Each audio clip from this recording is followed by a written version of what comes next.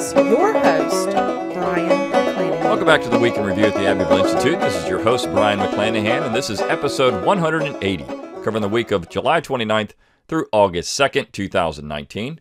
Glad to have you back on the program. Very glad to be here. Don't forget to follow us on Twitter at Abbeville Institute, like our Facebook page at Abbeville Institute, and subscribe to our YouTube page at Abbeville Institute. If you don't want to find all those things on your own, just go to our webpage, abbevilleinstitute.org. At the top of the page, you'll find all of our social media buttons. While you're there, give us an email address and we'll give you a free ebook. You'll get our daily dose of Dixie Monday through Friday and our weekly email on Saturday or Sunday. You can support the Abbeville Institute by going to our webpage, abbevilleinstitute.org. At the top of the page, you'll see a button that says support.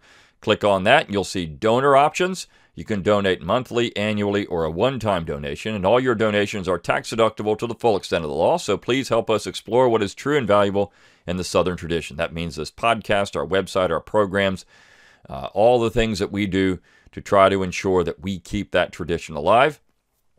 You can also support the Institute by going to that same uh, button. Uh, it says support. You'll have a drop down menu. It'll say shop. Click on that. You can get your Abbeville Institute apparel. So if you want to uh, help advertise the Institute with high quality embroidered materials, you can do that. T shirts, hats, golf shirts, golf towels, a lot of great stuff. So going out and get your Abbeville Institute apparel. It, uh, again, is a great way to advertise and also a great way to support the Institute. Okay, well, all that said, let's talk about the material for the week. We had a, an eclectic week, but um, several, of the, several of the pieces went together, um, the last two in particular. And um, but we had some other interesting material this week, and all of it, I think, centers on the South as distinct, the South as unique. And this is not to say that other sections in the United States aren't unique, and in fact, I think that we all recognize that they are. Uh, but that's that was the key to understanding the United States and the early federal period. If you go back and you look at the documents from, say, the 1770s into the 1780s, when the founding generation was discussing the Union, you can go back to the 1750s for all that matter. For, for all, I mean, if you go back to that point, when you go back to the 18th century and you see what the founding generation said about America, you'll find that uh, they all recognized differences in the colonies. And it wasn't just uh, the institution of slavery, which most establishment historians would say, well, there it is, right there. That's the only thing that made the colonies different. It wasn't. David Hackett Fischer has pointed this out in his wonderful book, Albion Seed, which is uh, a discussion of the four British folkways in North America the Cavaliers, the Celts, the Quakers, and the Puritans, and how different these cultures actually were, even though they're all British. They're all British folkways, is what he calls them, or English in the 17th century. They all were substantially different in their worldviews. They all might have been Christian, but uh, the Puritans and, of course, the Orthodox Anglicans did not see eye to eye. They fought a civil war in England. So uh, these were different cultures, and they were different in their cultural habits, their norms, on, on just about everything. So uh, those cultures would settle here in North America. And in the process, you had 13, eventually 13 very different colonies. Now, you can divide those up into sections. You can have New England, you can have the Mid Atlantic states, would be the Mid Atlantic states or the Mid Atlantic colonies, and then, of course, the southern colonies and southern states. Um, but they all had different cultural makeups. And Benjamin Franklin recognized this in 1754 when he wrote during the Albany Congress, which was uh, called uh, in response to the growing crisis with France. And he proposed something known as the Albany Plan of Union. He said, Look, all these colonies are too provincial. They don't want any type of central authority. They're all jealous of each other. They all have their own colonial spheres, they all had their own colonial legislatures. They weren't going to sit down and form some type of union, even if the parliament would agree to it, which ultimately they did not. They weren't going to do it because they were all suspicious and jealous of each other. And so this is where, you know, we have this uh, this disconnect between these colonies that, of course, would carry forward into the 18th century, into the late 18th century, uh, the 1770s and 1780s. If you look at the documents from that period, they all knew that what they had there in 1776, when the colonies declared their independence separately, many of them did, and of course, then as a through the Declaration of Independence, but even that in 1783, the colonies were recognized all as independent states, as Jefferson said in the Declaration. The Articles of Confederation codified the fact that these were free and independent states. And so you had 13 independent countries that formed a union for specific purposes. And that was because these colonies, as Richard Henry Lee pointed out when he proposed a committee to form, or at least he proposed independence, and the committee was formed. Uh, he said, Look, this union is not going to interfere with the everyday government of each state. Virginia was independent from Massachusetts, and Massachusetts was independent from South Carolina, and Connecticut was independent from New York. The concerns of the, the domestic concerns of each state were left to the domestic legislatures of each state. We had a union for commerce, at least ostensibly, in defense, but more importantly, defense against the British. So that carried forward into Philadelphia. I mean, you look at the Philadelphia Convention, they all talked about the differences, and you look at how the Constitution was sold. Tench Coxe, very famously in a Freeman, it's a, series of essays entitled A Freeman, pointed this out. The, the central government did not have control over the domestic affairs of the states, and he listed what all these things were things like jails and education and health care, all that kind of stuff. And so this is because the, the states are supposed to recognize the individual character of each of the cultures of those particular states. The United States in 1788 was, uh, of course, much smaller. The, the total population of the United States in 1790 was about the same population as Alabama in 2019. So we're talking about a vast amount of territory with maybe 4 million people. Not a whole lot of people, a lot of wilderness out there. But even that being the case, these states were substantially different.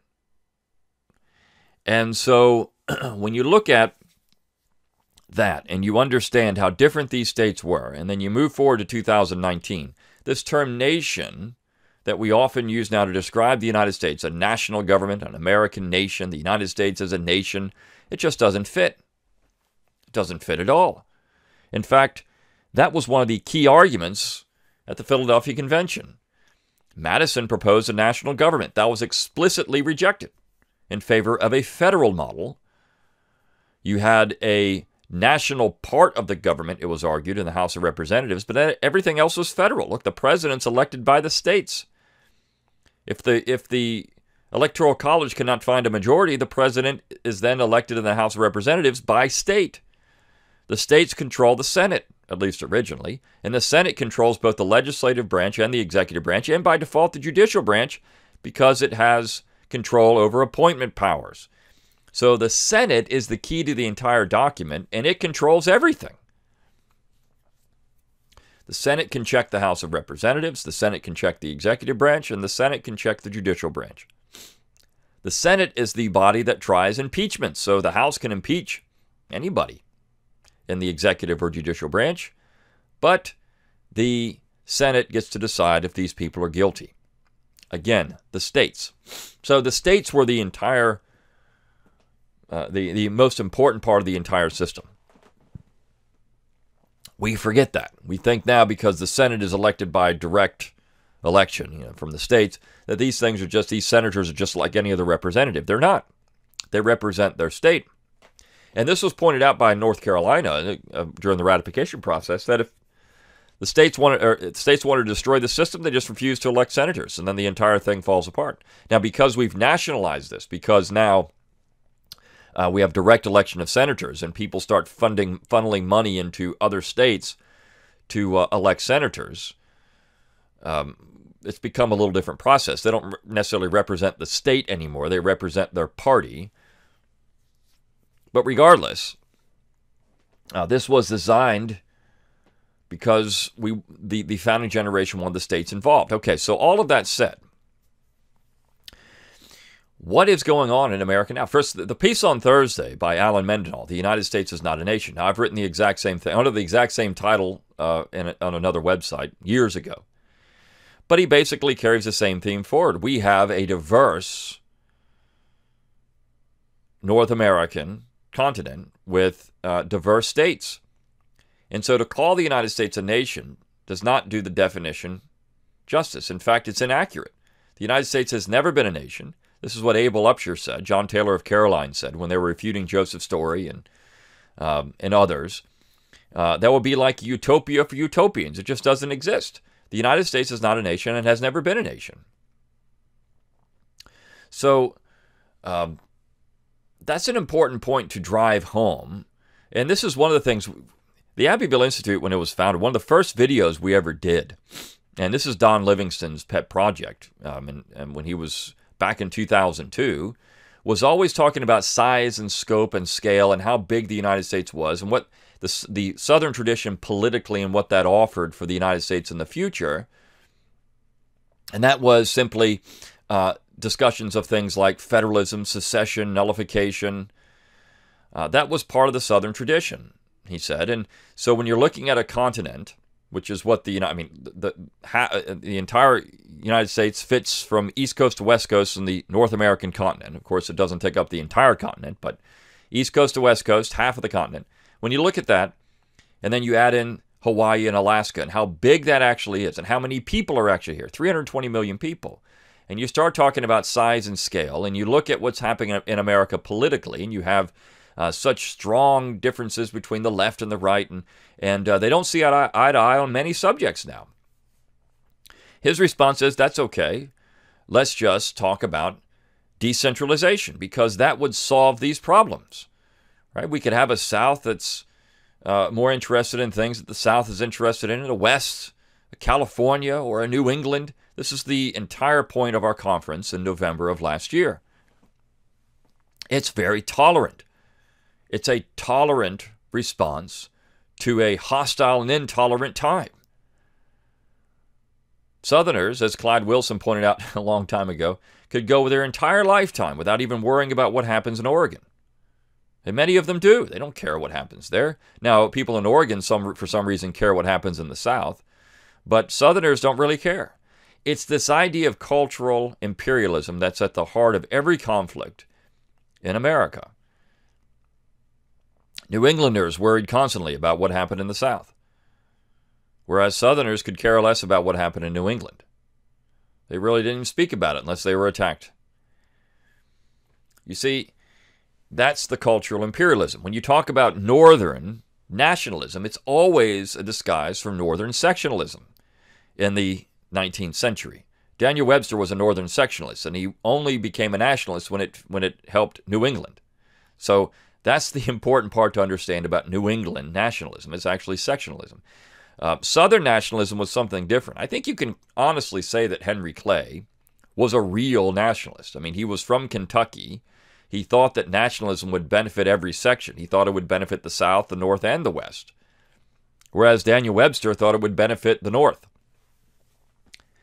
Uh, when you look at Calhoun and his nationalism in 1816, again, the tariff of 1816 was throwing, the, throwing a bone to the North because the war had substantially harmed their economy. So let's have a tariff.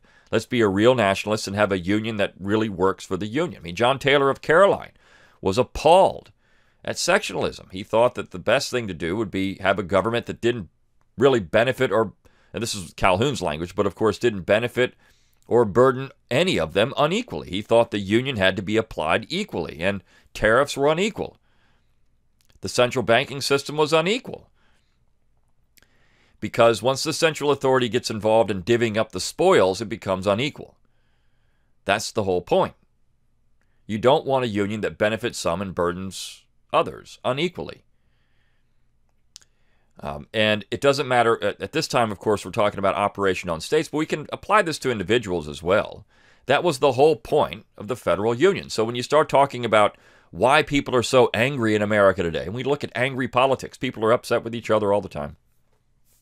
So, how could we solve that problem? Well, uh, Don Livingston's response was let's talk about decentralization. Let's talk about these things that are part of the Southern tradition. Of course, the Southern tradition is other things too, as we'll talk about in this uh, particular episode as well. But this idea of decentralization would potentially be a fix for the things that ail American society today. And so Allen Mendenhall talks about that we're not a nation. So why do we use that language? Because using that language becomes problematic. If one side or the other dominates the central authority, if the left dominates the central authority, if the right dominates the central authority, then the other side is going to be abused and angry. And this is what Calhoun pointed out in his disquisition on government. Part of the problem with our two party system is that one side, when out of power, will talk about the Constitution and how it needs to be upheld, and then once back in power, they forget all about it. This happens every single time. He pointed this out in the 19th century. Uh, nothing has changed. This is why Calhoun is the most astute political thinker of the 19th century. Maybe next to John Taylor of Caroline, but they're right there together. So, uh, when you look at Boyd Cathey's piece on Friday, he just brings us up all these problems, all of these things. The left being very uh, angry right now at Donald Trump and uh, the right, and then of course, if if the right is out of power, the neoconservatives are out of power. They're going to talk. They're going to be very angry at the left, and we're going to have radical transformations. I mean, this this stuff is ongoing, and people are are bristling at these things all across the United States. This is what Marcus Ruiz Evarts says in California secession. Look, I mean, we don't like the fact that Donald Trump's in power. We should uh, we should leave the union. You, you, the other states, you you red states, should vote us out. And of course, that's exactly what the Supreme Court said could happen in Texas v. White. That uh, the other states could just could vote out a state, but they just couldn't do it unilaterally. California can't just say we're leaving sayonara.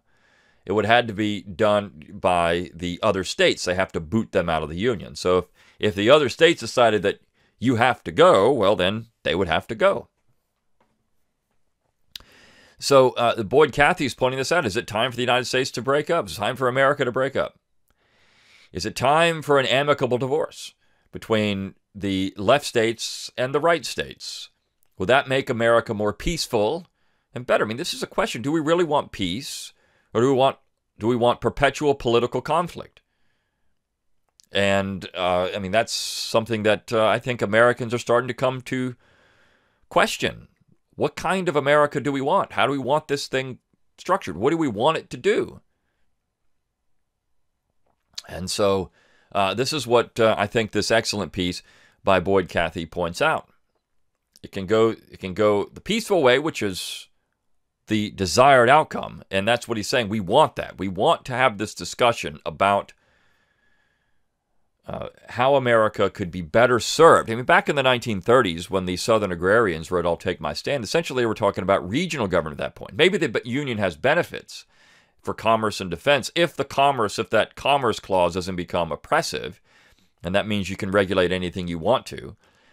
But if it was simply as a free trade zone between the states and then you had regional government to handle other things, the South, its own little regional government. The New England, its own. And those regional governments handled the domestic concerns of those areas. Maybe that would be better. You would still have the union, but you would have these regional governments. I remember talking to a colleague of mine years ago. He was from Nigeria. And we had this conversation. He said, in his opinion, he said, well, uh, yeah, I think that would be best. The only thing he would add to it, he said, there needs to be some type of overarching civil rights legislation, too so that civil rights cannot be abused in any of the sections. And I think that in the 21st century, that would certainly happen to a point. Um, so, I mean, people are talking about these things. Well, I mean, this would be a good idea. These will be these are things we need to do. Um, but how do you do it? Now, there was a time when Virginia led and when Virginia led, you had these serious discussions about federalism and regionalism and decentralization. When John Taylor of Caroline was the pamphleteer of Jeffersonianism, a real political thinker, a real scholar. And this is uh, what was said in the in the 1850s. Virginia would just lead like it used to. I mean, Jefferson, Madison, Monroe, Washington. Virginia would just be the leaders again. Now, maybe by the 1850s, Virginia had become exhausted. And you can point, I mean, look, 1829 to 1830 is one of the most important time periods in Virginia history when they write their new Constitution. And you had people like John Randolph of Roanoke arguing against a much more democratic Virginia because it says it's going to destroy Virginia, and perhaps it did. When you look at that constitutional convention, some of the things that were said about democracy and government power, I mean, all this stuff could be just applied to a bigger situation, bigger government. But they were talking about these issues in Virginia in 1829. One of the most important events in American history was that Virginia Constitutional Convention. The star power there was just tremendous. But the piece on Monday is driving through Virginia's historic triangle, and Brett Moffat has done a nice job pointing out some things to do and see. And I will say, for me personally, going to Williamsburg, Virginia, when I was about 12 years old, was a was a transformational event because I became interested in American history there. It was where I decided I really wanted to do American history, um, and it is the cradle of America, uh, not Plymouth not Boston or Salem, but Williamsburg and uh, the Tidewater of Virginia. That is the cradle of British North America. And a lot of the things that we talk about and we, we wrestle about, you know, uh, individual liberties. If you look at Charles Sydnor's book, American Revolutionaries in the Making, and we, we've got an essay on that in, in uh, on the website. Uh, I think it's entitled From the 18th to the 20th. Uh, but when you look at that particular period. And Sydnor points out, you know, even though Virginia was much more undemocratic than even South Carolina or some of the other states, they had more liberty in Virginia because they were jealously guarding it. The Jeffersonians, what were called the Jeffersonians later on, the Republicans, the old Republicans, Norman Risjord's The Old Republicans, just a fantastic book. The old Republicans led. And they weren't all from Virginia. You had old Republicans in other states as well, but they led. Nathaniel Macon was one of those old Republicans, for example, from North Carolina. They led. And when they led, the powers of the general government were circumscribed. Now we know that the first couple of uh, administrations, they were not. And then, of course, the Jeffersonians came in power and they tried to restrict those powers. And they did for a long period of time. Of course, we had some hiccups there. Madison's insistence that we get another Bank of the United States, et cetera, et cetera. But Nevertheless, when the Jeffersonians were around, things were a little different. And this is what Clyde Wilson points out in his essay on Tuesday on Jeffersonians in the 20th century and foreign policy. People like J. William Fulbright and Robert Byrd. Uh, these are individuals that talked about a foreign policy that was not imperialistic. Claude Kitchin of North Carolina.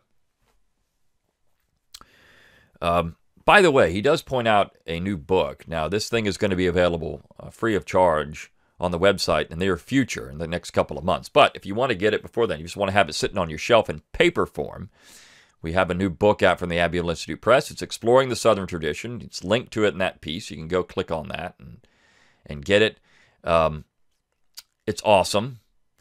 Uh, it's a collection of essays, 20 essays about a variety of topics. And one of them is a piece by Richard Gamble, who teaches at Hillsdale College, on Southerners and foreign policy, the Southern anti imperialists. And he focuses a lot on Claude Kitchin. So, um, this is a, a, forgotten part of the Southern Jeffersonian legacy is this anti-imperialism, and you see it from other individuals now. I mean, look, if you watch the uh, the Democratic debates and you watch, uh, you know, for example, what Tulsi Gabbard has to say about foreign policy. It's very Jeffersonian. Uh, what Donald Trump was having to say about foreign policy in the lead up to the 2016 election, very Jeffersonian. We call that conservative, but that's essentially the, uh, or you could say it's the Virginian foreign policy. George Washington and Jefferson and Madison and Monroe, they all favored that. And when you move forward in the 19th century, you had the same perspective. You know, even Zachary Taylor and John Tyler. I mean, these people were trying to avoid, avoid foreign entanglements and permanent alliances. Right? I mean, this is the American way. It was the American way up until World War I. And then the American way, for some reason, has become empire and conquer. Uh, but that's not that's not the Jeffersonian foreign policy. That's what Clyde would say is a Yankee foreign policy, and I think he's right about that. Now, Southerners have been just as aggressive at times. There's no doubt about it. But the Jeffersonian strain this anti Vietnam War strain. I mean, that was very Jeffersonian. Anti World War I, very Jeffersonian. And of course, there were those in New England who followed the same uh, during World War I, who were opposed to American entrance in the war. And I think overall the American public was opposed to, the, to American entrance in the war, even in 1916 when uh, Woodrow Wilson promised he kept us out of war. I mean, that was a big deal because uh, Charles Evans Hughes was actually favoring to get into the thing, and Wilson was saying, no, I'm going to keep us out of war. Course, he's being disingenuous. This is why William Jennings Bryan, who of the Bryan family from Georgia, resigned as Secretary of State. Bryan, at that point, of course, being from Nebraska, though. Uh, so that's Jeffersonian. So we have this complex history in the South. You have this complex foreign policy view, which I think uh, Clyde brings out in his piece. You've got this driving through Virginia that talks about the cradle of American civilization in so many ways. And then you have this idea of American America as a as a federal republic, not a nation. And is it time for a divorce? But then that piece on Wednesday brings me to that piece that I wrote colonial slavery. And I brought this piece up because there's a perception that um, the North, New England, was always the good guys and the South was always the bad guys in, in modern terms. And so I begin the piece talking about a colonial governor who, in fighting a war with a, a, a nasty war with some Indian tribes in, the, in his colony, armed in his words, 200 stout Negro men. And uh, they were going to defend. They were frontline troops in this particular war. And this is in this is in 1718, right? So 1718. This colonial governor says, "I've got 200 stout Negro men." Those are his those are his words. Armed against this Indian tribe, and they were asking for other men, slaves, African slaves from Virginia, right? From Virginia, so that they could go and uh, help defend the state. Well, Virginia responds, all right, well, if we send these men to you, you got to send some slave women to us because uh, we need to replenish our population here. And this other colony said, no, we're not doing it.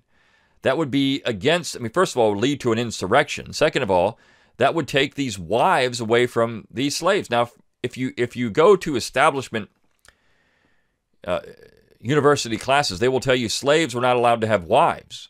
But here you have, in this early 18th century, this colony saying, well, we can't do that. We can't, because these men that are fighting for this colony have wives. We can't send their wives away.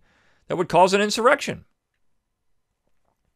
Right? So these slaves had wives. We know that slaves married all the time. Maybe not in a in a formal ceremony like they did uh, for uh, European society, but they in in in these southern colonies or anywhere they had slavery. Uh, but they certainly married. We know it. We know it happened all the time. Uh, so uh, you have that. And then on the other hand, you have a leader from another colony writing the first pro slavery treatise in North American history, 1701. The man's name is John Saffin. He was a merchant, made a lot of money on lumber and tobacco and fishing and furs, and um, also slave trading. And at one point, he had an indentured servant, an African indentured servant, named Adam, and his indentures were up, and John Saffin refused to free him. So there was a court case about this. And Saffin, and there was a, a minister in the area that wrote a scathing critique of John, Sca- John Saffin for not freeing his indentured servant. And John Saffin wrote that essentially that this African indentured servant was uh, not able for freedom because of his race, that um, he was that Africans were better off in North America. Essentially, he's using the what we would call the positive good argument that was articulated in the 19th century, not first by Southerners, actually first by New Englanders in the 19th century, because they were wrestling with the institution of slavery there first. Calhoun wasn't original in the positive good argument at all. That argument had been used for years. But um, here you have this pro slavery treatise by John Saffin, first one, 1701. So, about the same time, you have, within a decade of each other, you have this pro slavery treatise from one colony and this use of armed slaves in another colony. And I asked in the piece, well, where are these colonies? Well, the pro slavery treatise was written in Massachusetts, and the armed slaves were in South Carolina. Yet, if you, again, if you take the mainstream establishment history courses, you're going to learn that South Carolina, that slaves were never armed, slaves never had firearms, slaves never had any of these things, and that all pro slavery information comes from the South. But this is exactly this is not true. So the question has to be, well, what happened? I mean, why did South Carolina become uh, much more rigid in its defense of racial stratification? Well, because at first the Stono Rebellion, which took place in 1739, that caused some alarm. Um, that was one of the reasons, and then and then over time, you know, you would see uh, uh, as the growth of slavery took place, you would have racial attitudes stiffen. But certainly, even in the 1660s, all men in the Carolinas, all men, didn't matter if you were free or slave, were required to be armed to defend the colony against the Spanish or the French or the Indian tribes. And so that was the case, and the governor was very open about it. Whereas in New England, where you had slave trading as one of the primary forms of commerce, and you did have slavery, um, and you had uh, John Saffin actually educated by the one of the future presidents of Harvard. And this was the case for a lot of Southerners as well. They went up to Harvard and Yale and Princeton, and they were educated by pro slavery ministers there. And so they came back and brought that defense, that biblical defense of pro slavery with them. And so this is where the complexity of American history comes into play. You had two different colonies, two different worldviews, even then, about things and uh, we don't we don't take that into account. And of course, the the idea of federalism is supposed to handle these differences and allow for peace between peoples. But if you create nationalism, you cannot have that because one side has to win and the other side has to lose. And when it's a razor thin majority, and that's what we're talking about here, razor thin majorities. You can say, well, it was you know, three million votes. All those votes came from California. So essentially, if you take out California, we have razor thin majorities in America. And so are we happy with the fact that if there's 101 people, 51 of the 101 people can decide what 50 people will do? Are we happy with that in America? Is that the best form of government? Uh, or would federalism solve these problems? These are the questions that are being asked. In a complex place like America, which it is, and as I said at the beginning, New England has its own kind of worldview. I mean, Bernie Sanders is New York slash Vermont. He works in New York slash Vermont, but does he work in, in the South? I mean, some people would vote for Bernie Sanders in the South, I'm sure of it. Uh, some people vote for Donald Trump in New England. But uh, the culture of their, those areas, does do those candidates work in those areas, uh, outside of those areas? Does uh, Kamala Harris work outside of California? Does Alexandria Ocasio Cortez work outside of New York? Does Mitch McConnell work outside of Kentucky? Or Sonny Perdue? Or take your pick of a southern or northern congressman or congresswoman. Do they work outside of their areas? Does Klobuchar work outside of the Midwest? Uh, you know, when you listen to her, she sounds like she's from the Midwest. Don't you know? So, I mean, this is this is the question that has to be asked, and it's something I think these pieces, all the pieces this week, do a nice job addressing. The complexity of America, the fact that the United States has never been a nation, in the strictest uh, sense of the word, and that nationalism is actually part of the problem, not the solution to the growing conflict in America. You take away the idea that we have to have top down government, and a lot of this violence, political violence, political conflict goes away. It melts away because you would have culture, the, the regional and state cultures determine what those states are going to be like. I mean, look, no one's saying Alabama has to govern the United States, and no one should say that Massachusetts should govern the United States, or New York, or California, or Georgia. That would be the peaceful and responsible, and most importantly, Southern and original founding thing to do.